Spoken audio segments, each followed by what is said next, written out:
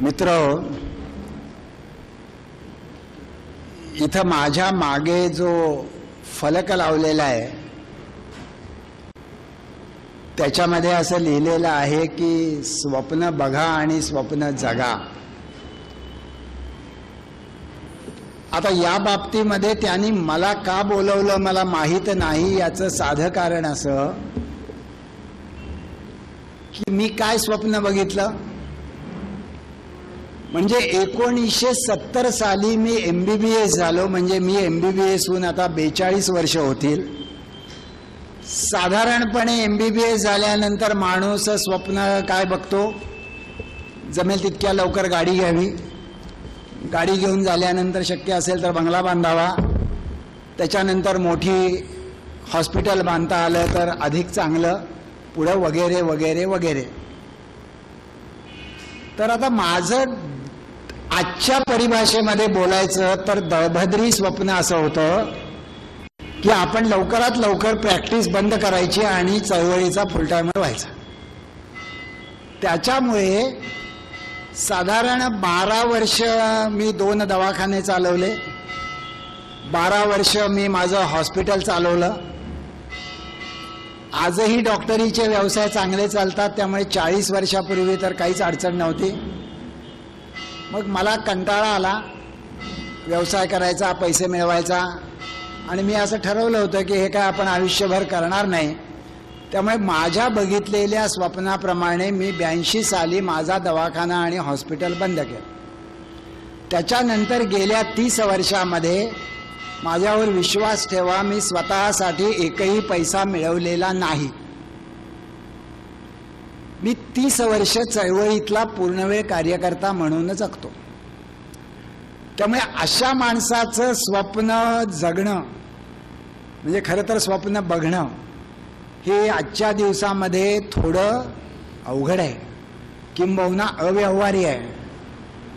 बरं एवढ्यानेच भागत नाही. त्यांनी मला जे काही ईमेल पाठवलेले होते त्याच्यामध्ये त्यांनी असं म्हटलेलं होतं की तुम्ही यावं विद्यार्थ्यांशी बोलावं त्याच्यामुळे विद्यार्थ्यांना प्रेरणा मिळेल वगैरे वगैरे वगैरे. विद्यार्थ्यांना काय मिळेल ती मिळायची ती तुम्हाला मिळेल. पण पहिली प्रेरणाच्या ऐवजी झटका संयोजकांना बसला कारण त्यांना असे फोन यायला लागले की दाभोळकरांचं भाषण रद्द करा. कारण दाभोळकर हे अत्यंत घातक वक्ते आहेत. आणि ते अमुक अमुक आणि तमुक तमुक बोलतात. आणि त्यांच्यामुळे त्यांचं तुम्ही भाषण होऊ देऊ नका. त्याच्यामुळे मी जी काही प्रेरणा देणार ती नक्कीच अशी असली पाहिजे की जी अजून काही जणांच्या समाजातल्या हितसंबंधांना थेट विरोध करते. एका अर्थाने मला असं वाटतं की हा प्रेरणेचा विजय आहे. म्हणजे मला असं आठवतं की ज्या वेळेला अंधश्रद्धा निर्मूलन समिती स्थापन झालेली नव्हती त्यावेळेला मला दांडगी हाऊस असल्यामुळे मीच भाषणं द्यायचो. तीन दिवसाची माझीच व्याख्यानमाला लागायची.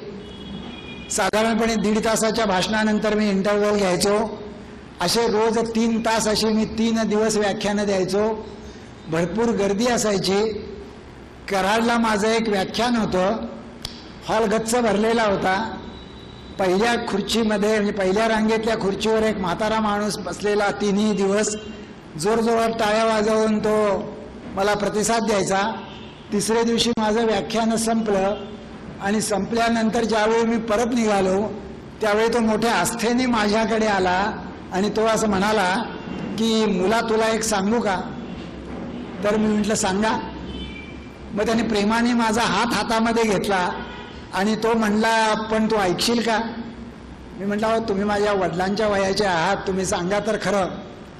प्रेमाने हातामध्ये घेतलेला हात प्रेमाने दाबत तो मला असं म्हणाला तू जे काम करतोयस ना ते शक्य तितक्या लवकर बंद कर. तर मी म्हटलं का? तुम्ही तर पहिल्या रांगेत बसून तीन दिवस मला टाळ्या वाजवत होता? ते म्हणले बरोबर आहे पण तू जे गेले तीन दिवस सांगतोयस ना ते मी आयुष्यात तीस वर्ष सांगितलं. घरच्यांना पटलं नाही दारच्यांना पटलं नाही.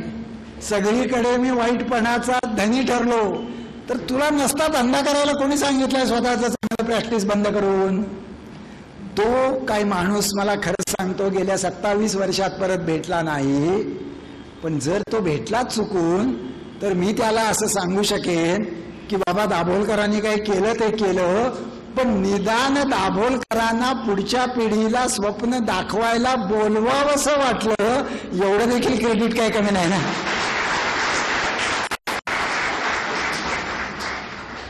आता म्हणजे मी तुमच्याशी काय बोलणार आहे?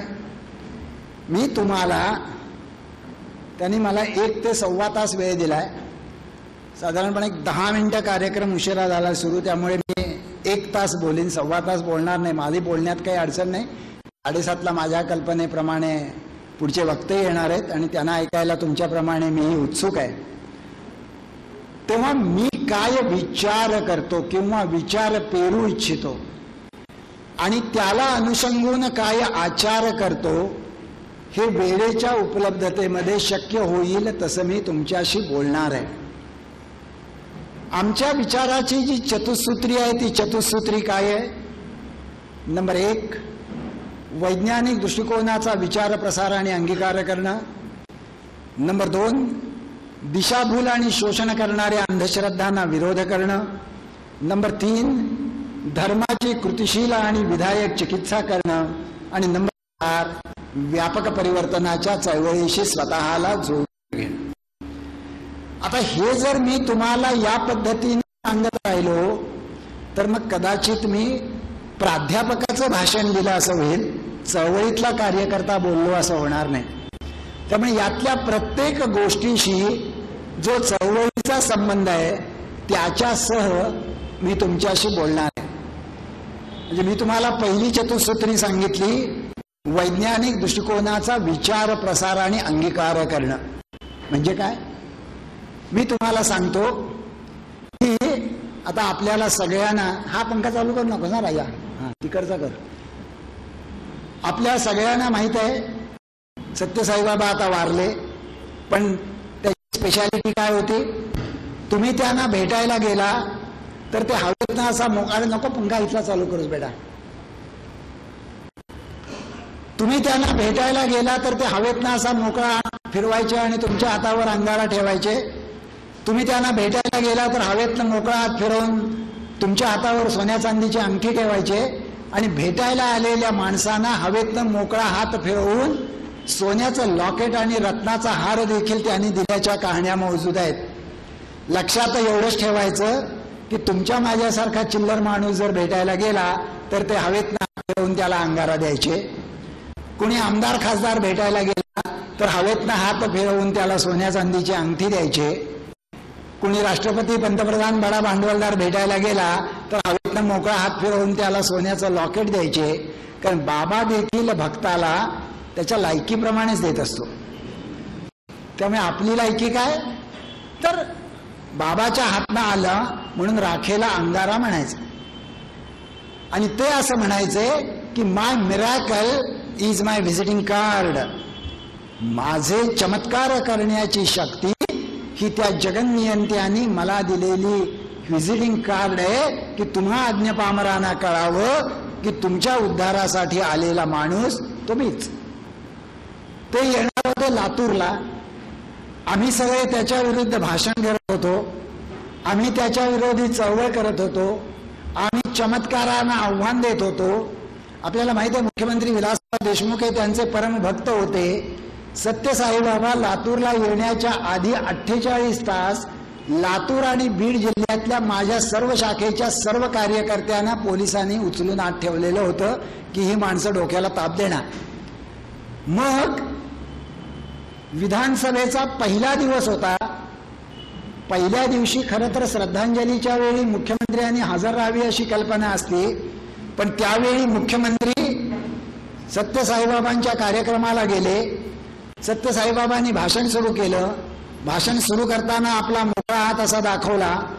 मोकळा हात मधीच पाच मिनिटांनी भाषण थांबवलं. हवेतनं असा मोकळा हात फिरवला. सोन्याची साखळी काढली आणि मुख्यमंत्र्यांचे धाकटे बंधू दिला दिलीपराव देशमुख यांना दिली. आजही ती त्यांच्या गळ्यामध्ये आहे. पुन्हा भाषण सुरू केलं. पुन्हा वीस मिनिटांनी मध्येच भाषण थांबवलं. मोकळा हात हवेतनं फिरवला. दुसरी सोन्याची साखळी काढली आणि ती विलासराव देशमुखांना दिली. शेवटपर्यंत ती विलासराव देशमुखांच्या गळ्यात होती. आणि अगदी भाषण थांबवता थांबवता खालनं असा हात फिरवला अंगारा काढला आणि जमलेल्या बाया बापड्यांना वाटला. म्हणजे जे आम्ही सांगत होतो ते याच देही याच डोळा लोकांना बघायला मिळालं. मुद्दा आहे माझ्या विवेचनाचा तो पुढचा आहे.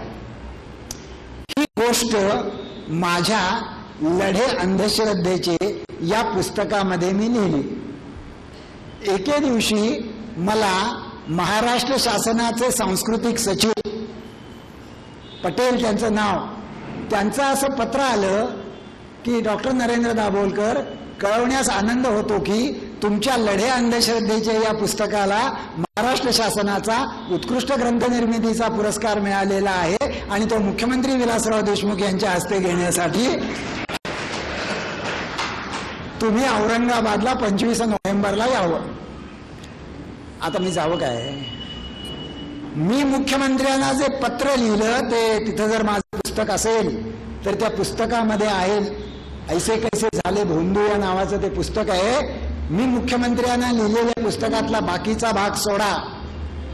मी त्यांना लिहिलेल्या पत्रातलं एक वाक्य असं होतं तिखट होतं थोडं. भारतीय संविधानाशी विसंगत वर्तन करणाऱ्या मुख्यमंत्र्यांच्या हातून मी माझा पुरस्कार स्वीकारू इच्छित नाही.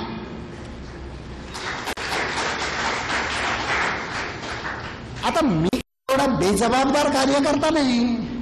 की कुणी जर आपलं कौतुक करत असेल तर जा. मला नाही तुझ्याकडनं कौतुक करून घ्यायचं एवढं म्हणण्यात उद्धट माणूस मी नाही.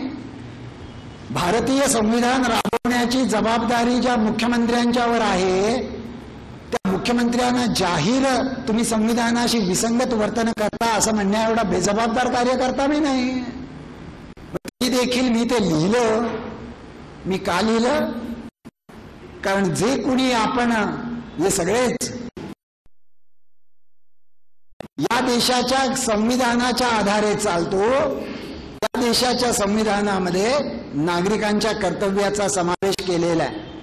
आणि त्यातलं एक महत्वाचं कर्तव्य आहे it is a duty of every Indian citizen to promote scientific temperament spirit of inquiry spirit of reform and humanism प्रत्येक भारतीय नागरिकाचं एक घटनादत्त कर्तव्य आहे त्यांनी सायंटिफिक टेम्परामेंट म्हणजे वैज्ञानिक दृष्टिकोन स्पिरिट ऑफ रिफॉर्म म्हणजे शोधक बुद्धी किंवा धर्मचिकित्सा आणि ह्युमॅनिझम म्हणजे मानवतावाद याचा विचार प्रसार आणि अंगीकार केला पाहिजे.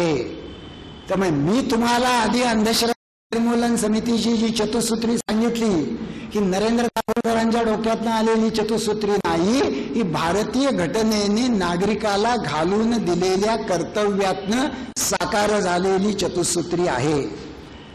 त्याच्यानंतर म्हणजे आपण जरा विचार करा या देशामध्ये अनेक धर्म आहेत. काही दीड हजार वर्ष आहेत काही दोन हजार वर्ष आहेत काही अडीच हजार वर्ष आहेत काही साडेपाच हजार वर्ष आहेत. पण या देशाच्या घटनेमध्ये असं म्हटलेलं नाही. की it is a duty of every Indian citizen to promote religiosity and spirituality जो वैज्ञानिक दृष्टिकोन आत्ता आत्ता पन्नास शंभर वर्षापूर्वी आला त्याचं कर्तव्य म्हणून पालन करा असं घटनेमध्ये सांगितलेलं आहे. आणि वैज्ञानिक दृष्टिकोन आणि चमत्कार याचं नातं प्रकाश आणि अंधाराचं असतं. या हॉलमध्ये प्रकाश आहे असं वाक्य उच्चारल्यानंतर या हॉलमध्ये अंधार नाही असं म्हणावं लागत नाही. आणि या हॉलमध्ये अंधार आहे असं वाक्य उच्चारल्यानंतर या हॉलमध्ये प्रकाश नाही असं म्हणावं लागत नाही. अंधार असतो याचाच अर्थ प्रकाश नसतो. प्रकाश असतो याचाच अर्थ अंधार नसतो. घटनेमध्ये जर वैज्ञानिक दृष्टिकोन असेल तर चमत्कार असूच शकत नाही आणि मुख्यमंत्री त्यांच्याकडे जाऊ शकत नाही. आणि जर मुख्यमंत्र्यांना चमत्कार खरा वाटत असेल तर ते घटनेशी विसंगत वर्तन करतात असा त्याचा अर्थ होतो. पण हे इथंच थांबत नाही. आता तुम्ही सगळे काहीतरी तिथं लिहिले चौदा ते चोवीस वयोगटातली मुलं. म्हणजे बरोबर एकोणीसशे शहाऐंशी साली देशाचं नवं शैक्षणिक धोरण आलं. त्या नव्या शैक्षणिक धोरणामध्ये जे गाभा घटक आहेत त्या गाभा घटकातला महत्त्वाचा गाभा घटक आहे वैज्ञानिक मनोभावाची निर्मिती. शिवसेना भाजपचं सरकार सत्तेवर असताना त्यांनी मूल्य शिक्षण सुरू केलं. त्या मूल्य शिक्षणामधलं महत्वाचं मूल्य आहे वैज्ञानिक दृष्टिकोन.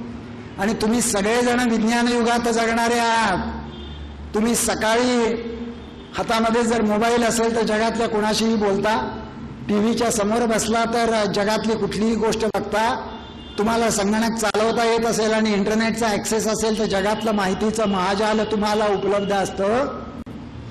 आता एवढं बोलून झाल्यानंतर मी महाराष्ट्रातल्या महाविद्यालयात ज्यावेळी बोलतो आणि एक प्रश्न विचारतो तो तुम्हालाही विचारतो. तुमच्यापैकी कुणालाही उत्तर येत असेल तर त्यांनी जागेवरनं उठून उभं राहून द्यायला हरकत नाही. मी दहा सेकंद थांबीन. मी जो प्रश्न विचारतो आत्ता तुम्हाला समजा एरवी महाविद्यालयात बोलताना विचारतो हे बघा घटनेमध्ये कर्तव्य म्हणून सांगितलेला नागरिक वैज्ञानिक दृष्टिकोन नंबर एक शिक्षणाच्या गाभा घटकामध्ये महत्त्वाचा गाभा घटक असलेला वैज्ञानिक दृष्टिकोन नंबर दोन मूल्य शिक्षणामध्ये अंतर्भाव केलेला वैज्ञानिक दृष्टिकोन नंबर तीन आणि तुम्ही ज्या विज्ञान युगात हरघडी जगता त्याचा तत्वज्ञानात्मक पाया असलेला वैज्ञानिक दृष्टिकोन नंबर चार. माझा साधा शब्द असा वैज्ञानिक दृष्टिकोन म्हणजे काय? हे मला एका शब्दात कोण सांगेल? जसं तिसरी आणि चौथी मध्ये समानार्थी शब्द लिहा म्हणून शाळेमध्ये प्रश्न असायचे ना. मग सूर्य मग तुम्ही लिहायचा रवी. चंद्र मग तुम्ही लिहायचा शशी. पाणी मग तुम्ही लिहायचा जल. मी तुम्हाला विचारतोय तुम्हाला जर स्वप्न बघायचे असतील तर माझ्या मताने जे पायाभूत तत्वज्ञान आहे आणि माझ्या मताने नाही भारतीय संविधानाच्या मताने शिक्षण धोरणाच्या मतीनं ते जर वैज्ञानिक दृष्टिकोन असेल तर मला जरा कोण सांगेल वै फक्त आपापसात बोलू नका शेजाऱ्याशीही बोलू नका माहीत असेल तर उभं राहा आणि सांगा अनिसाचा कोणी कार्यकर्ता असेल तर ते सोडून माझा साधा प्रश्न असा वैज्ञानिक दृष्टिकोन म्हणजे? हा बोल. नाही नाही नाही. आणि मुळात आपल्याला एका शब्दात सांगायचं आहे पण हे वैज्ञानिक दृष्टिकोन नाही पण त्यांनी प्रयत्न केला इट्स गुड. हा बोल. ती होती कुठलीही गोष्ट वैज्ञानिक दृष्टिकोनाने सिद्ध होती. गाभा काय? सुरू होतो वैज्ञानिक दृष्टिकोन. ज्याला आपण असं म्हणतो जिज्ञासा म्हणजे क्युरिओसिटी जिज्ञासा चिकित्सा तर्क अनुमान प्रचिती प्रयोग हे सगळे प्रक्रिया आहे वैज्ञानिक दृष्टिकोनाची. मी गाभा विचारतोय. सत्य शोधण्याचा सगळ्यात चांगला मार्ग वैज्ञानिक दृष्टिकोन आहे. पण वैज्ञानिक दृष्टिकोन म्हणजे काय? हा बुद्धीला काय पटेल? आज तर घोळ आहे या देशात. हा? नाही चमत्कार नाहीये वैज्ञानिक दृष्टिकोनाने सिद्ध होतं. Last five seconds to go ते ते फळ आहे ते फळ आहे वैज्ञानिक दृष्टिकोनाचं. बरोबर आहे आपण टाळ्या वाजवून त्याचं कौतुक केलं पाहिजे. वैज्ञानिक दृष्टिकोन म्हणजे कार्यकारण भाव प्रत्येक कार्याच्या मागे कारण आहे नंबर एक. ते कारण माझ्या बुद्धीला समजू शकतं नंबर दोन. जगातल्या सगळ्याच कार्यांच्या मागचं कारण आज मला समजत नाही. कॅन्सर का होतो हे मला माहीत नाही. पण समजेल त्यावेळी कसं समजेल हे मला समजतं नंबर तीन. आणि यथार्थ ज्ञानप्राप्तीचा माणसाला सापडलेला हा सगळ्यात खात्रीचा मार्ग आहे नंबर चार. यांनी वैज्ञानिक दृष्टिकोन बनतो. म्हणजे तुम्हाला जर यशाचा पाया नक्की करायचा असेल तर वैज्ञानिक दृष्टिकोन तुम्हाला असं सांगतो एका वाक्यामध्ये हे विश्व स्वायत्त कार्यकारण भावानी अस्तित्वात आहे. हे विश्व स्वायत्त कार्यकारण भावानी अस्तित्वात आहे. कुठल्याही दुष्ट शक्तीच्या मनात आलं म्हणून माझं काहीही वाईट होऊ शकत नाही. आणि कुठल्याही सुष्ट शक्तीची उपासना केली म्हणून आपोआप माझं काही चांगलं होऊ शकत नाही. त्यामुळे वैज्ञानिक दृष्टिकोन माणसाला कळलेला नव्हता तोपर्यंत माणूस असं मानत होता की माझ्या आयुष्यात जे काही घडतं त्याच्यामागे दैव आहे नशीब आहे प्राक्तन आहे संचित आहे प्रारब्ध आहे कर्मविपाक आहे मागच्या जन्मीचं पाप पुण्य आहे जन्माची वेळ आहे. माणसाला वैज्ञानिक दृष्टिकोन कळला आणि माणसाला हे समजलं की माझ्या आयुष्यात जे जे काही घडतं त्याच्यामागे दैव नाही नशीब नाही प्रारब्ध नाही संचित नाही. माझ्या आयुष्यात घडणाऱ्या प्रत्येक कार्याच्या मागे कारण आहे ते मला समजू शकतं आणि ते मला समजू शकतं म्हणून ते मला बदलता येऊ शकतं. वैज्ञानिक दृष्टिकोन समजेपर्यंत माणूस पराधीन होता. वैज्ञानिक दृष्टिकोन समजला आणि माणूस स्वाधीन झाला. वैज्ञानिक दृष्टिकोन कळेपर्यंत माणूस परतंत्र होता.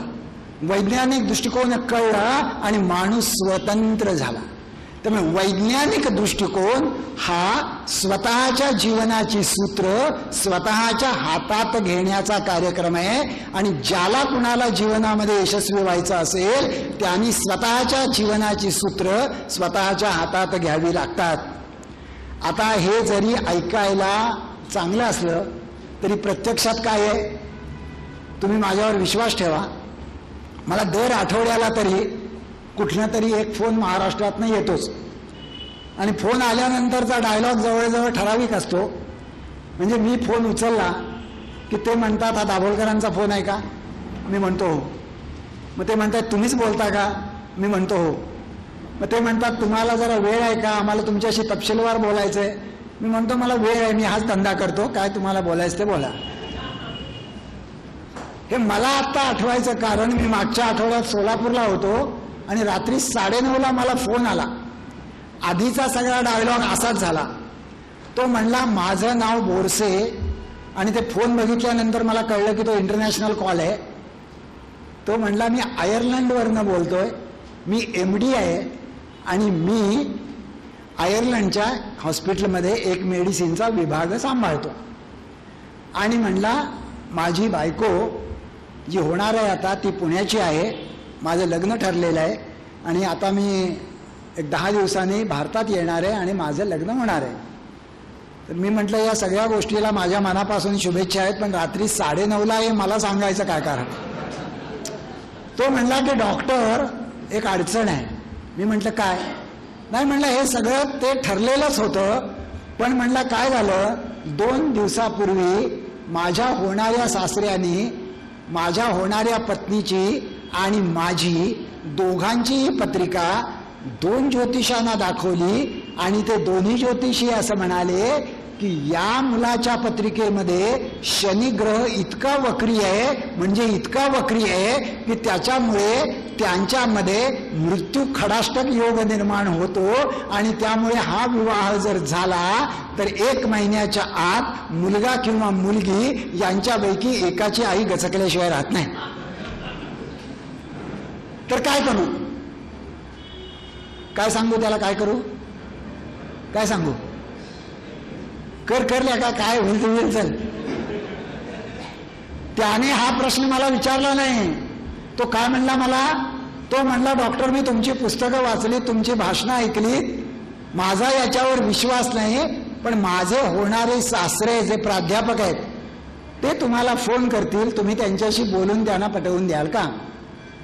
तर मी म्हटलं जरूर करीन. जर त्यांना माझ्या बोलण्यामुळे पटणार असेल आणि तुमचं लग्न लागणार असेल तर मोस्ट वेलकम रात्री साडे दहा वाजता मला त्या प्राध्यापक महोदयांचा फोन आला. आणि ते म्हणले की तुम्हाला मगाशी तासापूर्वी आयर्लंडवरनं फोन आला असेल. मी म्हटलं हो. मग ते म्हणाले की डॉक्टर असं आहे की ते शनी फार वक्री आहे आणि मृत्यू खडाष्टक योग निर्माण झालेला आहे. तर काय करायचं? मी म्हटलं काय करायचं ते सांगतो नंतर पण मला जरा सांगा की तो वक्री असलेला जो शनी आहे तो पृथ्वीपासनं किती लांब आहे? तर ते त्यांना एकदम ते गडबडले. नाही म्हटले मला माहीत नाही. नाही म्हटलं पण तरी अंदाजे किती लांब आहे? ते म्हणजे असेल एक दहा पंधरा लाख किलोमीटर. मी म्हटलं तो वक्री असलेला शनी पृथ्वीपासनं फक्त दीडशे कोटी किलोमीटरवर आहे. हा? म्हणजे दीडशेवर किती शून्य सांगितली तरी चटकन काढता येणार नाहीत. आणि म्हटलं तो कशाचा बनलाय ते म्हणजे कशाचा बनलाय म्हणजे काय? म्हणजे म्हटलं कशाचा बनला आहे? हवेचा पाण्याचा स्फटिकाचा धातूचा मातीचा कशाचा बनलाय? नाही म्हणले माहीत नाही. म्हटलं शनी हा ग्रह जवळजवळ सगळा गॅसचा बनलेला आहे. म्हणजे त्याला त्याचं झालंय थोडं. आणि त्याच्या पदरात हे घोडं काय बांधतायत? की दीडशे कोटी किलोमीटरवरनं पृथ्वी या ग्रहावर नजर ठेवायची त्या पृथ्वी या ग्रहामधल्या सात खंडापैकी आशिया खंडावर नजर ठेवायची. त्या आशिया खंडातल्या अनेक देशापैकी भारत देशावर नजर ठेवायची. त्या भारत देशातल्या एकोणतीस प्रांतापैकी महाराष्ट्र प्रांतावर नजर ठेवायची. त्या महाराष्ट्रातल्या पस्तीस जिल्ह्यापैकी पुणे जिल्ह्यावर नजर ठेवायची. त्या पुणे जिल्ह्यातल्या एका पुणे नावाच्या शहरावर नजर ठेवायची. त्यातल्या सदाशिव पेठेवर नजर ठेवायची. आणि इकडे त्या सदाशिव पेठेतल्या मुलींनी लग्न केलं रे केलं की तिकडे ऍक्शन चालू करायची.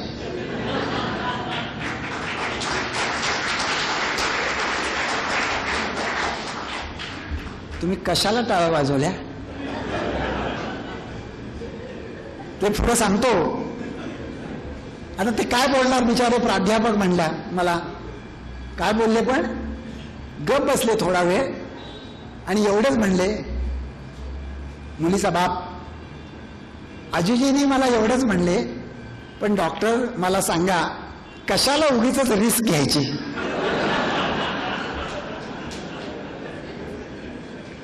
कशाच्या आधारे निर्णय घेतला? स्वतःच्या जीवनातला जोडीदार निवडण्याचा सगळ्यात महत्त्वाचा निर्णय कुणाच्या आधारे घेतला? दीडशे कोटी किलोमीटरच्या शनीच्या वे म्हणजे वैज्ञानिक दृष्टिकोन समजला की जीवनाची सूत्र स्वतःच्या हातात येतात आज आत्ता दुपारी आयबीएन लोकमतला माझी अर्धा तास चर्चा होती त्यात फलज्योतिषा विषय होता कदाचित दाखवतील परत संध्याकाळी उद्या वगैरे बघा. अजूनही लोक हेच प्रश्न विचारतात. पण आपण पुढे जाऊ. म्हणजे लक्षात घ्या की वैज्ञानिक दृष्टिकोनाच्या साठी अंधश्रद्धा निर्मूलन समिती सर्व पातळीवर प्रयत्न केलेले आहेत. आम्ही स्वतःचं एक अतिशय चांगलं मासिक गेले बावीस वर्ष चालवतो. चळवळीची पन्नास एक पुस्तकं आहेत. माझी एक डझनभर पुस्तकं आहेत त्याच्या अनेक आवृत्त्या निघालेल्या आहेत. आम्ही शिक्षकांची शिबिरं घेतो आणि त्याच्यानंतर शिक्षक मुलांना शिकवतात आणि त्यांच्या परीक्षा घेतो. आम्ही मुलांच्या थेट सत्यशोधक परीक्षा घेतो. आम्ही विज्ञान बोधवाहिनी नावाची गाडी शाळे शाळेमध्ये नेतो. आम्ही मोबाईल प्लॅनेटोरियम करतो. आणि कदाचित दरवर्षी सगळ्यात जास्त लोकांच्या जाऊन भाषण देणारी संघटना आमची असेल कारण आमच्या जवळजवळ दोनशे तीस शाखा आहेत आणि दरवर्षी कमीत कमी दोन हजार भाषणं तरी. आणि समितीचा असा नियम आहे माझ्या सकट कुठल्याही कार्यकर्त्यांनी आत्तापर्यंत भाषणाला बोलवल्यानंतर मानधन किती देणारा शब्द उच्चारलेला नाही. याचं कारण याचं कारण एवढंच आहे की आम्ही जे काम करतो आम्हाला असं वाटतं की समाज या पद्धतीने बदलला पाहिजे. म्हणून आम्ही ते काम करतो.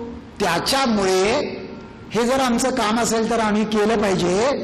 म्हणजे हे झालं मी तुम्हाला जी चतुसूत्री सांगितली त्यातली पहिली होती वैज्ञानिक दृष्टिकोन बाळगणं.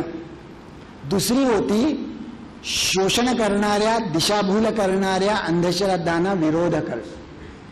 आता तुम्हाला हे माहीत असेल की शोषण करणाऱ्या अंधश्रद्धांना विरोध करणारा एक कायदा महाराष्ट्राच्या विधिमंडळामध्ये आहे. ऐकलंय ना?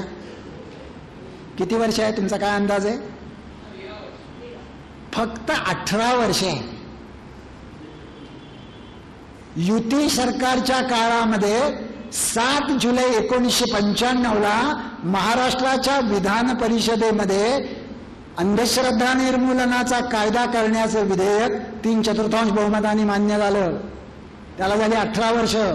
आणि सध्याच्या सरकारने काँग्रेसच्या लेखी आश्वासन दिलं कायदा करण्याचं एकोणीसशे नव्याण्णव साली त्याला झाली चौदा वर्ष.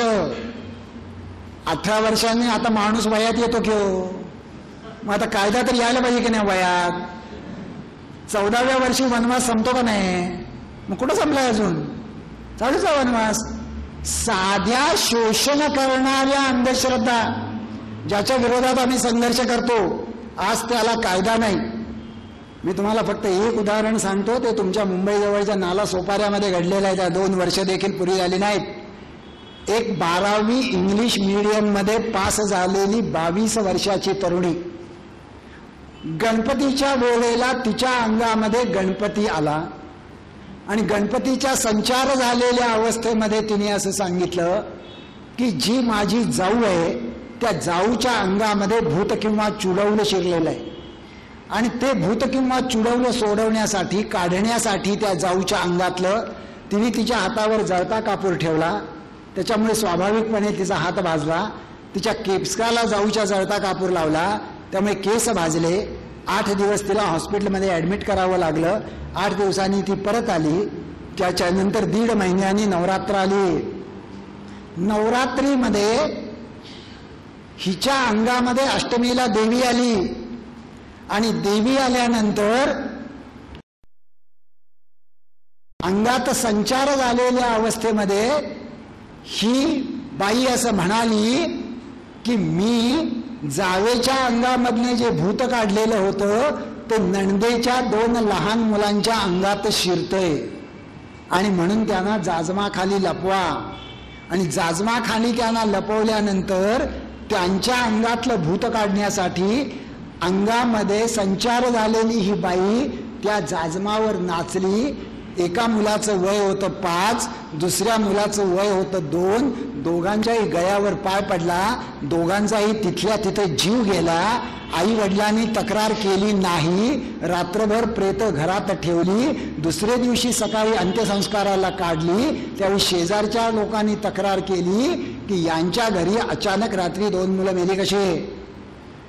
हे जे प्रकरण घडलं ह्या काळीमा लागला महाराष्ट्राला म्हणून तोंडाला काळं फासून आझाद मैदानावर आम्ही धरणं धरून बसलेलो होतो. आणि त्याच्यानंतर नाला सोपाऱ्याला मी एक जाहीर सभा घेतली. आणि माझ्याबरोबर माझे मित्र त्यावेळी ते ठाण्या ग्रामीणचे पोलीस अधीक्षक होते विश्वास नांगरे पाटील. विश्वास नांगरे पाटील अनेक वर्षाचे माझे स्नेही आहेत. तर विश्वास नांगरे पाटील आणि मी आम्ही दोघांनी सभा घेतली नाल्या सोपाऱ्याला आणि विश्वास नांगरे पाटील काय म्हणाले? ते म्हणाले तुम्हाला माहीत आहे की ताजमहालवर ज्यावेळी हल्ला झाला त्यावेळी विश्वास नांगरे पाटील हातात रिव्हॉल्वर घेऊन बारा तास किल्ला लढवत होते. ते म्हणाले ताजमहालमधली लढाई सोपी होती. समोर अतिरेकी होता त्याच्या हातात रिव्हॉल्वर होता आपल्या हातात रिव्हॉल्वर होता. आमने सामने काय व्हायचं ते? झालं असतं परंतु ही लढाई अधिक अवघड आहे? कारण स्वतःची मुलं आई वडिलांच्या समोर चिरडून मारली जात असताना आई वडील त्याला उपचार समजतात. ही मानसिक गुलामगिरी अधिक भयानक आहे. अशी उदाहरणं मी तुम्हाला महाराष्ट्रातली सांगितली तर कदाचित आजची रात्र संपेल पण उदाहरणं संपणार नाहीत कारण गेले पंचवीस वर्ष मी याच्यामध्ये कामं करतो. त्याच्यामुळे दुसरं अंधश्रद्धा निर्मूलनाचं काम म्हणजे शोषण करणाऱ्या दिशाभूल करणाऱ्या अंधश्रद्धांना विरोध करणं. म्हणजे जवळजवळ सातशे ते आठशे किमान बुवाबाजीची प्रकरणं या वीस पंचवीस वर्षात आम्ही फर्दाफाश केला असेल. भानामतीची आत्तापर्यंत आलेली अनिसाची सगळीच्या सगळी प्रकरणं आम्ही यशस्वीपणे सोडवलेली आहेत. चमत्कार नाही म्हणून त्याला एकवीस लाख रुपयाचं आव्हान देऊन आम्ही दोन वेळा महाराष्ट्रातनं यात्रा काढलेली आहे. फलज्योतिषाला आम्ही जाहीरपणे आव्हान दिलेलं आहे. याच्यासाठी कायदा व्हावा असा आम्ही प्रयत्नात आहोत. म्हणजे हे झालं दुसरा भाग. अधिक महत्त्वाचा भाग तिसरा. तो मी असं म्हटलं की धर्माची कृतिशील आणि विधायक चिकित्सा करणं. ती आम्ही करतो म्हणून माझ्या भाषणाच्या आधी संयोजकांना पूर्वी माझ्या भाषणात येऊन गोंधळ घालायचे. मग त्यांना लक्षात आलं की भाषणात येऊन गोंधळ घातल्यानंतर आपल्यावर कारवाई होते. त्यामुळे साधारणपणे माझं भाषण कुठेही असलं की मग फोन किंवा एस एम एस केले जातात की दाभोलकरांचं भाषण तुम्ही ठेवू नका. त्याच्यामुळे दाभोलकरांचं भाषण असलं की आजूबाजूला पोलीस दिसावेच लागतात. त्याशिवाय मंडपाची शोभा वाढत नाही. तशी ती आत्ता देखील वाढलेली आहे की ते मागे येऊन बसलेले आहेत. आणि मी असं म्हणतो की मी गेले पस्तीस चाळीस वर्ष हे बोलतोय. आज नाही. माझे शेकडो लेख आणि डझनावारी पुस्तकं प्रसिद्ध आहेत.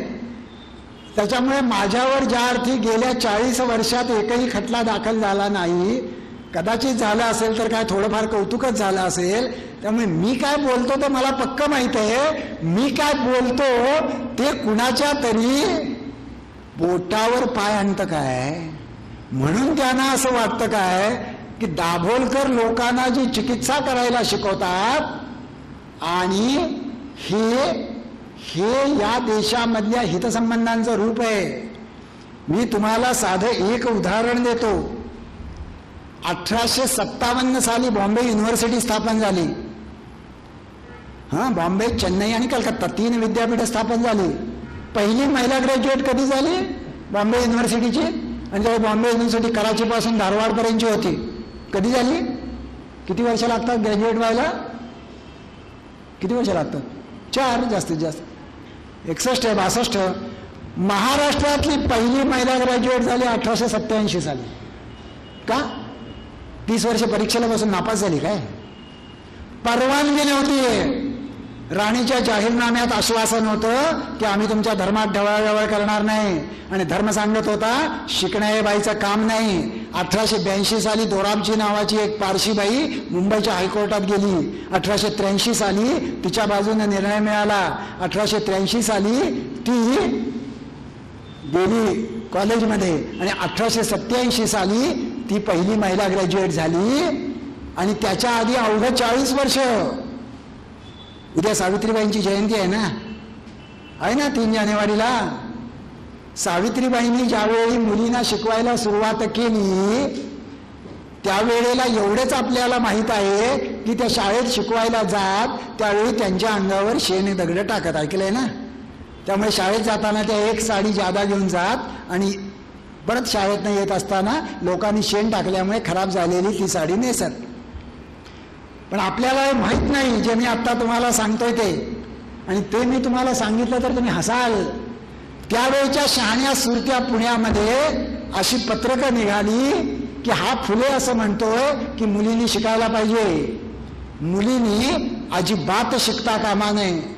बायकांनी वाचायला लिहायला अजिबात शिकता कामा नये. का? कारण वाचायला शिकलेल्या बायका वाईट साईट पुस्तकं वाचतील. हे वाचायला शिकलेल्या पुरुषाला कसं कळलं माहीत नाही बरं का? की वाचायला शिकल्यानंतर वाईट साईड पुस्तकं वाचतात. वाचायला शिकलेल्या बायका वाईट साईड पुस्तकं वाचतील आणि लिहायला शिकलेल्या बायका नवऱ्याला चावट चावट पत्र लिहितील. तुम्ही हसला फुल्यांचे वडील हसले नाहीत. फुल्यांच्या वडिलांनी फुलेंना बोलवलं आणि सांगितलं बायकांना शिकवण्याचा धंदा बंद कर. फुले म्हणाले का? ते म्हणाले धर्मामध्ये सांगितलेलं आहे की चूल आणि मूल हे बाईचं काम आहे. शिकणं हे बाईचं काम नाही. फुले म्हणाले पण मी असं ठरवलंय की बाईला शिकवायचं. फुलेंचे वडील म्हणले तो काय वाटेल ते ठरवशील? धर्माची नीती असती. ती नीती सगळ्यांनी पाळायची असती. त्याच्यामुळे बायकांना शिकवणं उद्यापासून बंद. फुले म्हणाले नाही पण तरी मी असं ठरवलं. धर्माची नीती काय असेल ती असेल पण बायकांना शिकवायचं. नंतर फुलेंचे वडील काय म्हणले कोण सांगेल? माहीत आहे ना? काय म्हणले? म्हणाले तुला जर मुलींना शिकवायचं असेल तेही खालच्या जातीतल्या. आणि तुला जर धर्मा पाळायचा नसेल तर माझं घर सोडून बाहेर चालता हो. एकवीस वर्षाचे फुले आणि अठरा वर्षाच्या सावित्रीबाई मुलीला शिकवता यावं याच्यासाठी कार्यकारण भावाने धर्माची चिकित्सा करून स्वतःच्या घराचा उंबरठा ओलांडून पावणे दोनशे वर्षापूर्वी बाहेर पडल्या. म्हणून तुम्ही इतक्या भगिनी आज या ठिकाणी येऊन बसला. म्हणजे लोक मला असं नेहमी विचारतात का होता बोलकर तुम्हाला खरंच वाटतं का अंधश्रद्धा निर्मूलन होईल? म्हणजे त्यांना असं वाटतं की मला काही उद्योगधंदा वगैरे नाही आहे. त्याच्यामुळे आपला तर मी म्हणतो की तुम्हाला मी सांगतो आज ना उद्या उशिरा वा लवकर सोपेपणाने व अवघडपणाने पण शेवटी मीच जिंकणार याची मला पक्की खात्री आहे. मग ते म्हणतात कशावरनं? मी म्हणतो साधी गोष्ट आहे. दोन हजार वर्ष ज्या बाईला शिकायला दिलेलं नव्हतं. त्या बाईला तुम्ही शिकवायला लागला अठराशे सत्याऐंशी साली. आणि मागच्या वर्षी आणि त्याच्या मागच्या वर्षी आणि त्याच्या मागच्या वर्षी दहावीला आणि बारावीला पहिल्या कोण आल्या? आल्या ना मुली? मग कोण जिंकलं? दोन हजार वर्षाची विषमतेची परंपरा जिंकली का दीडशे वर्षाची समतेची परंपरा जिंकली? जिंकली ना समतेची? नरेंद्र दाभोळकर जिंकणार का नाही? जोरात हो म्हणवत नाही अजून खात्री नाही. म्हणजे लोहियांचं असं एक वाक्य आहे. लोहिया हे तुम्हाला माहीत असेल मोठा माणूस लोहियांचं वाक्य असं आहे लोक मेरी बात सुनेंगे जरूर लेकिन मेरे मरने के बाद. तशी काय माझी इच्छा नाही. बरं का? आधी ऐकलं तरी चालेल. तेव्हा नंबर एक धर्माच्या चिकित्सेसमोर समोर घड्याळ आहे माझ्या ते बघून मी बोलतोय. त्यामुळे धर्माच्या चिकित्सेचा हा एक भाग. नंबर दोन अंधश्रद्धा निर्मूलन समितीची धर्माबद्दलची भूमिका आणि भारतीय संविधानाची धर्माबद्दलची भूमिका ही तंतोतंत एक आहे. काय भारतीय संविधानाची धर्माबद्दलची भूमिका? पंचवीस सव्वीस सत्तावीस आणि अठ्ठावीस आर्टिकल ऑफ द कॉन्स्टिट्यूशन काढून वाचा. त्यात पंचवीसावी घटनेचं कलम अधिक महत्वाचं त्याच्यामध्ये असं म्हटलेलं आहे प्रत्येक भारतीय नागरिकाला उपासनेचं धर्मपालनेचं पारलौकिक कल्याणाचं आणि आध्यात्मिक उन्नतीचं पूर्ण स्वातंत्र्य आहे. त्याच्यामुळे तुम्ही हिंदू असा मुस्लिम असा ख्रिश्चन असा बौद्ध असा शीख असा किंवा कुठल्याच धर्माचे नसा. तुम्ही मंदिरमध्ये जावा मशिदीमध्ये जावा चर्चमध्ये जावा गुरुद्वारामध्ये जावा किंवा कुठेच जाऊ नका. तुम्ही अल्लाची येशूची गुरुग्रंथ साहेबाची तथागत गौतम बुद्धाची कुणाचीही पूजा करा किंवा करू नका. यापैकी काहीही करण्याची अथवा काहीही न करण्याची तुम्हाला परवानगी आहे त्यामुळे तुमच्या मतदानाच्या आणि नागरिकत्वाच्या हक्कावर कसलीही गदा येत नाही. ही तंतोतंत भूमिका आमची धर्माच्या विधायक चिकित्सेची आहे आणि त्याच घटनेत असं म्हटलंय की धर्माचं स्वातंत्र्य दिलेलं आहे पण ते निरपवाद नाही. चार गोष्टींच्यासाठी धर्माचं स्वातंत्र्य मर्यादित करता येतं. एक कायदा सुव्यवस्था दुसरं सार्वजनिक नीतिमत्ता तिसरे सार्वजनिक आरोग्य आणि चौथी राष्ट्रीय एकात्मता. ज्या वेळेला यापैकी कुठली गोष्ट श्रेष्ठ असा निर्णय करण्याचा प्रसंग येतो त्यावेळी या चार गोष्टींना महत्त्व दिलं जातं. म्हणून शिखांचं सर्वोच्च पवित्र असलेल्या सुवर्ण मंदिरामध्ये देशाचं लष्कर घोषलं. त्यासाठी या देशाच्या पंतप्रधानांना स्वतःचा जीव द्यावा लागला. लष्कर प्रमुखाला जीव द्यावा लागला. कारण राष्ट्रीय एकात्मतेपासून फुटून निघण्याचं कारस्थान जर धर्मस्थळामध्ये चाललं तर धर्म नंतर देशाची एकात्मता पहिली. ही सगळी गोष्ट एका बाजूला अतिशय स्पष्ट आहे आणि दुसऱ्या बाजूला ही स्पष्ट आहे ती अशी की म्हणजे आपल्याला हे माहीत आहे का? की खरं म्हटलं तर हे काम आम्हाला करायला नको पाहिजे होतं. हे काम किती प्रभावीपणे महाराष्ट्रामध्ये संतांनी केलेलं आहे. गाडगे बाबा तीस वर्ष आषाढी कार्तिकीला पंढरपूरला गेले. एकदाही गाडगे बाबांनी उपवास केला नाही. एकदाही गाडगे बाबा आत देवळात गेले नाहीत. लोकांनी खराब केलेला चंद्रभागेचा किनारा स्वतःच्या खराट्याने बाबा साफ करायचे आणि संध्याकाळी कीर्तनाला उभे राहायचे आणि समोर असलेल्या लोकांना बाबा विचारायचे बाप हो देव पाहिला का देव? लोकांना आश्चर्य वाटायचं की अरे आम्ही तर पंढरीच्या पांडुरंगाला भेटायला आलोय आणि हा माणूस आम्हाला विचारतोय देव पाहिला का देव? लोक म्हणायचे पाहिला जी. बाबा म्हणायचे कमाल आहे तुम्ही देव पाहिला तुमचा देव कोठे राहतो? लोकांना वाटायचं या आढळण्याला काहीच माहीत नाहीये. तोपर्यंत काय बाबांना एवढं नाव झालेलं नव्हतं. लोक म्हणायचे आमचा देव देवळात राहतो तो रंगाने सावळा आहे तो विटेवर उभा आहे त्याच्या कटीवर हात आहेत त्याच्या बाजूला रखमाई आहे. मग बाबा आपण त्या गावचेच नाही असं दाखवत म्हणायचे कमाल आहे. तुमचा देव देवळात राहते माझ्या देव माझ्या मनात राहते. तरी लोकांना कळायचं नाही. मग गाडगे बाबा पुढे त्यांच्या मिश्किल वराडी शैलीमध्ये विचारायचे तुम्हारे देवाले अंघोळ करते की नाही? लोक म्हणायचे करते तर. बाबा म्हणायचे तुम्हारे देवाले अंघोळ कोण घालते? लोक म्हणायचे आम्हीच घालतो जी. बाबा म्हणायचे अरे जे तुमचे देवाले स्वतःची आंघोळ स्वतःले करता येत नाही तो तुम्हाला तुमच्या भाग्याची आंघोळ रे काय घालणार? पुढे बाबा विचारायचे तुम्हारे देवाले धोतर नसते की नाही? लोक म्हणायचे नेसते तर बाबा म्हणायचे तुम्हारे देवाले धोतर कोण नेसवते? तर म्हणायचे आम्हीच नेसवतो जी.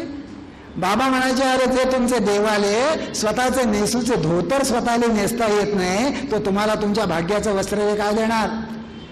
पुढं बाबा विचारायचे तुम्हाला देवाले नैवेद्य दाखवते की नाही? लोक म्हणायचे दाखवते. बाबा विचारायचे नैवेद्य दाखवून काय करते? लोक म्हणायचे हातात काठी घेऊन नैवेद्याच्या बाजूला बसते. बाबा विचारायचे कशाला? लोक म्हणायचे देवाला दाखवलेला नैवेद्य कुणी कावळा कुत्रा खायला येईल त्याला काठीनं हाकायला. बाबा म्हणायचे अरे जे तुमचे देवाले त्याच्यासाठी वाढलेल्या नैवेद्याचे स्वतःचे स्वतःला रक्षण करता येत नाही तो तुमच्या आयुष्याचं रक्षण रे काय करणार? आणि पुढं मित्रांनो गाडगे बाबा एक लाख मोलाचा प्रश्न विचारायचे जो विचारायचा आपण विसरून गेलो. गाडगे बाबा विचारायचे जित्ता जागता देव कोणी पाहिला का? जित्ता जागता देव. आणि आपण कोणी पाहिलेला नसतो जित्ता जागता देव. त्यामुळे लोक कावऱ्या बावऱ्या चेहऱ्याने इकडं तिकडं बघायला लागायचे. बाबांच्या बाजूला एक माणूस उभा असायचा रापलेला चेहरा पांढरी शुभ्र दाढीची पांढरी शुभ्र दाढी अंगावर जाडे भरडे खादीचे कपडे पाय अनवाणी त्याच्याकडे बोट दाखवत गाडगे बाबा म्हणायचे अरे हे भाऊराव पाटील बघा हे महारामांगाच्या पोरांना शिकवण्याचं काम करते तेला देव म्हणा. अरे तो गांधी बाबा बघा ते देशासाठी मर मर मरते तेला देव म्हणा. अरे अडाण्याला शिक्षण द्यावं आजाऱ्याला औषध द्यावं बेघराला घर द्यावं रंजल्या गांजलेल्याची सेवा करावी मुक्या प्राण्यावर दया करावी बाप हो देव येच्यात राहते बाप हो देव देवळात राहत नाही देव आपल्या मनात राहते देवळात फक्त पुजाऱ्याचे पोट राहते.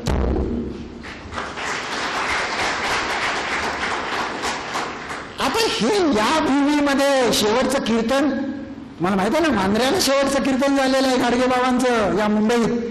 आणि ते ऑडिओ उपलब्ध आहे तेवढे एकच कीर्तन गाडगे बाबांचं ध्वनीफीत उपलब्ध आहे. हे सगळं असताना हे नरेंद्र दाभोलकर सांगतात म्हणून लोक जर म्हणत असतील की नाही नाही नाही दाभोलकरांना बोलायला दिलं नाही पाहिजे तर मग तुम्ही विचार करायला पाहिजे की हे लोक जे असं म्हणतात त्याच्या माग काय हेतू आहे? समाज त्यामुळे पुढे जाणार आहे का समाज त्याच्यामुळे मागे जाणार आहे? चौथी सूत्र. मी तुम्हाला म्हटलं की चतुसूत्रीवर काम करतो. मी तुम्हाला वैज्ञानिक दृष्टिकोन समजावून सांगितला. मी तुम्हाला शोषण करणाऱ्या अंधश्रद्धा विरुद्धचा संघर्ष सांगितला. मी तुम्हाला धर्माची विधायक आणि कृतिशील चिकित्सा सांगितली. यापैकी कशाचाही मी विस्तार केला नाही. यातल्या प्रत्येक गोष्टीवर मी एक तास बोलू शकतो. परंतु चौथी गोष्ट व्यापक परिवर्तनाच्या चळवळीशी स्वतःला जोडून घेणं. आणि लक्षात घ्या की हे फार महत्वाचं आहे. म्हणजे तुम्हाला हे माहीत आहे का? की बाईच्या अंगात येतं बरोबर आहे ना? जास्त करून कोणाच्या अंगात येतं? बायकांच्याच येतं. का? कारण बायका या देव्यांच्या राज्यात पॉप्युलर आहेत जास्त. त्यामुळे देव्या डायरेक्टली त्यांच्या अंगात जातात. असं आहे काय? अंगात येतं म्हणजे काय होतं? अंगात येतं म्हणजे काय होतं समजून घ्या. धरण असतं धरण. धरण काठोकाठ भरतं. काठोकाठ भरलेल्या धरणाचे दरवाजे उघडावे लागतात. ते जर उघडले गेले नाहीत तर धरण फुटतं. बरोबर आहे ना? तसं माणसाच्या मनाचं धरण वेदनेने किंवा दुःखाने भरल्यानंतर माणसाच्या अंतर्मनाचे दरवाजे आपोआप उघडले जातात आणि ताणाचा निचरा होण्यासाठी काही काळ ती बाई अन्य भूमिकेमध्ये प्रवेश करते. आणि तुम्ही मला सांगा या देशामध्ये मनातल्या दुःखाचं धरण लवकर भरण्याची शक्यता बाईची आहे का पुरुषाची आहे? बाईचीच आहे.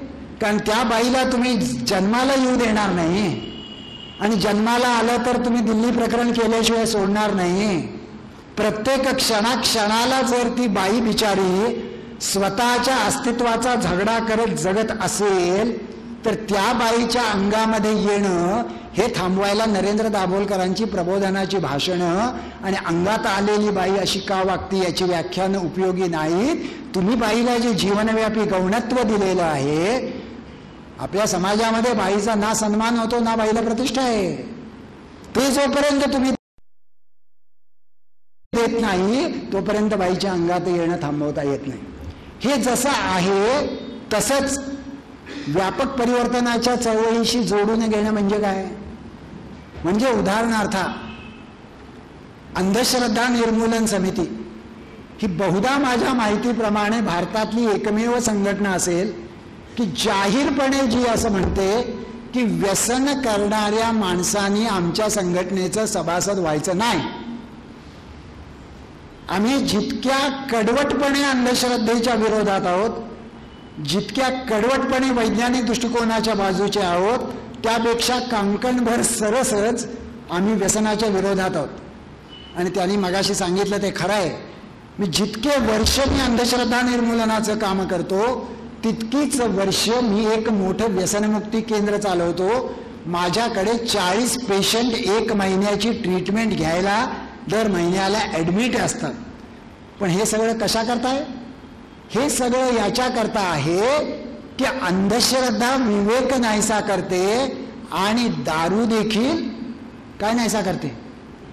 विवेक नाहीसा करते. आणि सगळ्यात अडचण अशी आहे त्यामुळे आम्ही विवेकवादी चळवळ आहोत. आम्ही काय अंधश्रद्धा निर्मूलनवादी चळवळ नाही आहे पण या विवेक नाहीसा करण्यामध्ये सगळ्यात अधिक गंभीर गोष्ट अशी आहे. मी गेले पंचवीस वर्ष अंधश्रद्धा निर्मूलनाचं काम करतो. आतापर्यंत एकही माणूस मला असं भेटलेला नाही की जो असं म्हणतो मी वाईट काम करतो. लोक असं म्हणतात की डॉक्टर तुम्ही चांगलंच काम करता. बुवा आणि बाबा लेखाचे हरामखोर असतात ते लोकांना फसवतात स्त्रियांचं शोषण करता तुम्ही त्याच्या विरोधी लढता ते चांगलंच करता. एवढे सगळे एका दमात बोलून झाल्यानंतर तो पुढं हळूच असं म्हणतो पण डॉक्टर सगळेच बाबा काही तसे नसतात बरं का? आमचे जे महाराज आहेत ना ते खरे खुर्रे बाकीचे लेखाचे सगळे बदमाश. तसंच मी दारूच्या विरोधामध्ये काम करतो म्हणून लोक मला म्हणतात डॉक्टर तुम्ही ते व्यसनमुक्तीचं काम करताना ते फार चांगलं बरं का? म्हणजे दारू म्हणजे वाईट. दारू म्हणजे माणसाला होतं का नव्हतं करतं त्याच्या सुखी संसाराची राखरांगोळी करतं त्याला उभ्या संसारातनं उठवतं. तुम्ही त्याच्या विरोधी काम करता ते चांगलंच करता. एवढे सगळं एका दमात बोलून झाल्यानंतर मग पुढे ते हळूच म्हणतात पण डॉक्टर आपलं म्हणजे कसं माहीत आहे का? आपण पितो म्हणजे परफेक्ट कंट्रोलमध्ये पितो बरं का? म्हणजे मुळात आपण अशी तशी घेत नाही. आपण फक्त फॉरेनची घेतो. ती देखील स्वतःच्या घरामध्येच. ती एक किंवा दीड पेक जास्त. पुन्हा आपल्याला फारशी चढत नाही. आपण पिऊन कधी बायकोच्या अंगावर हात टाकलेले नाही. आपण कधी बाईला पैसे नाहीत म्हटलेले नाहीत रस्त्यावर जाऊन आपण कधी कुणाशी भांडण काढलेलं नाही. दारू पिऊन गटारात लोळताना कधी आपल्याला उचलून आणायला लागलेलं नाही. आपण पितो म्हणजे स्वतःच्या घरामध्ये तब्येतीने फक्त विलायतीच पितो. बाकी डॉक्टर तुमचं व्यसनमुक्तीचं काम चांगलंच आहे बरं का? ते व्हायलाच पाहिजे. विवेक गमावलेल्या समाजाची लक्षण आहेत. जरा आठवून बघा तुम्हाला आठवते का? गेल्या दोन वर्षामध्ये मुंबईत सगळ्यात जास्त दारू विक्री कुठल्या दिवशी झाली? कधी झाली? आठवते एकतीस डिसेंबर होळी. आठवा जरा. हा आपापसात नका बोलू. देशाने ज्या वेळेला विश्वचषक जिंकला भारतामध्ये त्यावेळेला मुंबईतले दारूचे विक्रीचे सगळे उच्चांक धडाधडा कोसळले. टी व्ही आठवून बघा दस्तुरे खुद्द देशाच्या राष्ट्रपती त्याही महिला या देशाच्या संघाचं अभिनंदन करतायत आणि शॅम्पियनचे फवारे आपले खेळाडू उडवत होते एकमेकावर. आणि परत आमचे नेते सांगतात शॅम्पेनी काय दारू आहे का? वाईनी काय दारू आहे का? मग ते काय अमृत आहे वे. त्याच्यामध्ये इथाईल अल्कोहोल आहे साडेसात ते पंधरा टक्के. त्या दिवशी मुंबईत सगळ्यात दारू जास्त खपली ज्या खेळाला त्यांनी सांगितलं ते खरं आहे. माझ्या आयुष्यातली बावीस वर्ष मैदानावर गेली. मी भारताकडनं कबड्डी कसोटी खेळलो बांगलादेशी आणि त्यामुळे मला पक्क माहिती आहे की खेळाडूंनी दारू पिऊ नये म्हणून. आणि मी ज्या क्रीडा संस्थेत वाढलो त्याच्यामध्ये अजिबात शक्यताच नव्हती. आम्ही आयुष्यात सुपारी पण खाल्ली नाही ते पुढच्या गोष्ट दूर. पण जो देश क्रीडा विजय साजरा करण्यासाठी दारूचा उच्चांक मोडतो तो समाज विवेकी आहे का अविवेकी आहे? आणि जो समाज अविवेकी आहे त्याच्यामध्ये अंधश्रद्धा निर्मूलनाचं काम होईल काय? होणार नाही. त्याच्यामुळे नंबर एक वैज्ञानिक दृष्टिकोनाचा विचार प्रसार आणि अंगीकार करणं नंबर दोन शोषण करणाऱ्या अंधश्रद्धांना विरोध करणं. नंबर तीन धर्माची कृतिशील विधायक चिकित्सा करणं. आणि नंबर चार व्यापक परिवर्तनाच्या चळवळीशी स्वतःला जोडून घेणं. या पद्धतीनं गेले पंचवीस वर्ष आम्ही काम करतो. त्यामुळे तुम्हाला ज्यांना ज्यांना असं वाटत असेल की या कामामध्ये यावं. हे सांगायला मला अजिबात लाज वाटत नाही की आम्ही ॲब्सल्यूट मायनॉरिटीत आहोत. बरोबरच आहे आहोतच. आणि आम्ही फुटके आहोत हेही सांगायला मला लाज वाटत नाही. तुम्हाला ज्यांना ज्यांना जे जे शक्य असेल तुम्हाला काम करायला शक्य असेल तर तुम्ही फक्त तुमचा कार्यक्रम संपल्यानंतर तुमचा मोबाईल नंबर आणि नाव लिहून द्या.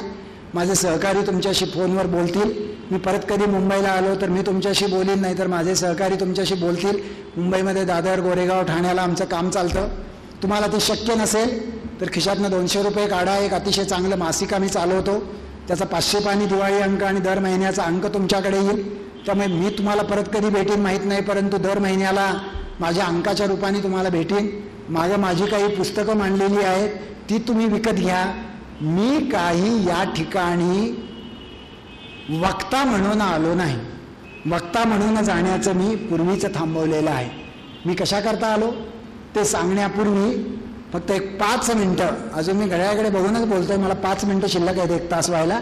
पाच मिनटामध्ये साधारणपणे मी थांबीन. आता मुद्दा असा आहे की मग हे स्वप्न मी पाहिलं असं तुम्ही म्हणा. तर आता मूळ मुद्दा असा आहे. बघा आता एवढं ऐकलं तुम्ही.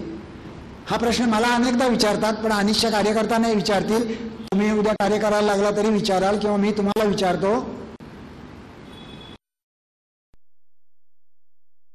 आणि माझ्या शेकडो सहकार्यांच्यावर सक्ती केली काय की अंधश्रद्धा निर्मूलनाचं काम करा नाही तर उद्यापासून तुरुंगात टाकू? प्रत्येकाला घर दार बायको मुलं आहे की सगळं? प्रत्येकाला बाकीचं काय आहे की नाही? मजा येते पण या विद्यार्थ्यांच्या दृष्टीनं दुसरी महत्वाची गोष्ट अशी आत्मविश्वास वाढतो. स्वतःच्या व्यक्तिमत्वाला विचाराची तात्विक बैठक प्राप्त होते. आणि अशी बैठक प्राप्त झाली की मग आपल्याला भय उरत नाही. मी त्या महाराजांचं नाव घेत नाही कारण त्यांचं नाव घ्यायचं म्हणजे मला माझंच नाव घ्यावं लागतं.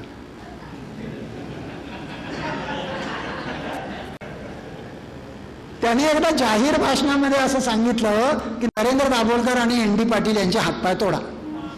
हा. मला सांगलीच्या पोलिसांनी असं विचारलं डीएसपीने विचारलं की डॉक्टर तुम्ही तक्रार दाखल करा मी खटला दाखल करतो. दुसऱ्या एका मित्र असलेले वरिष्ठ पोलीस अधिकारी म्हणले डॉक्टर तुम्ही रात्री अपरात्री कुठेही एकटे फिरत असता तुम्ही रिव्हॉल्व्हरचा परवाना मागा. मी काय करावं अशी तुमची कल्पना आहे? काय केलं नाही मी. मी काही लक्षच देत नाही. मी काही तक्रार बिक्रार केली नाही. आणि मी काय वेडा वेडा आहे काय? मी शांततामय आणि सनदशीर परिवर्तनावर विश्वास ठेवणारा माणूस आहे. मी जर माझ्या बचावासाठी रिव्हॉल्व्हर घेऊन फिरायला लागलो तर माझ्या कार्यकर्त्यांना काम करून घरी बसावं लागेल.